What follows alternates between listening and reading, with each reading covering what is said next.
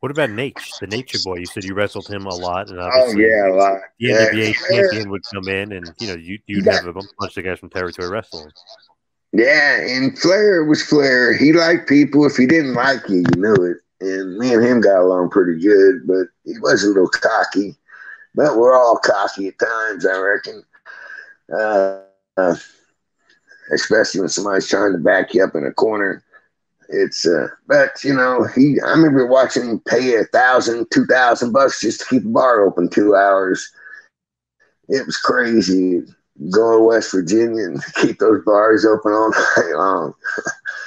yeah, that's, that's different times. I ain't had a drink in 30 years. Yeah. With Naitch and him him coming in, he'd basically take over the territory. It'd be, you know, literally inside the ring and outside the ring. It seems like. Uh, yeah, sure would be. Yeah, it was uh, pandemonium everywhere. They sold that sportatorium out so much all the time. Oh my God, it's crazy. Yeah, Frank Bonnema was the commentator back then. That's in the eight. I got there in 1980. Yeah. hmm What do you think about working Flair? Him being such a good worker and you know legendary champion, and everything else. Flair. Yep. Well, I think he went overboard with some of the women. If you watch that, it's something about late night, uh, or I forget what it was, but it showed Flair getting in trouble, raping the women and shit, and uh, making moves he should have never made.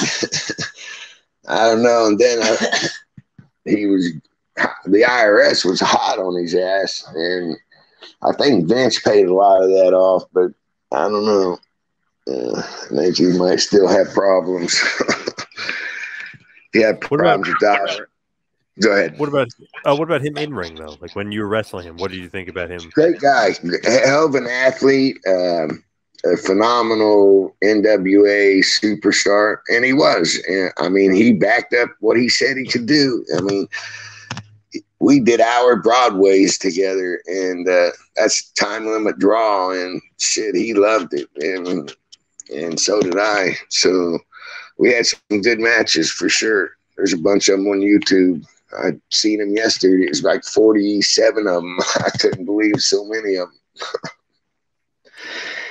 Was that like the staple, the sixty minute time limit draw for the NWA champion? Uh huh. Yeah.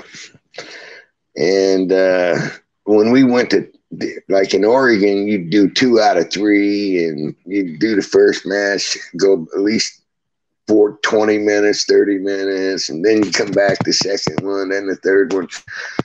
I got used to that too much, that's for sure. yeah, two out of threes. That was different. Definitely different than uh, nowadays, for sure. You Uh, rarely see. oh, I, know yeah. I just don't want not that long, but you rarely see the sixty minute time limit draw. Uh, you rarely see a 60 minute match. Back then, you seen it all the time. Nowadays, you can watch uh, WWE in an hour show, you might see 15 minutes of wrestling. That's crazy. Like a soap opera.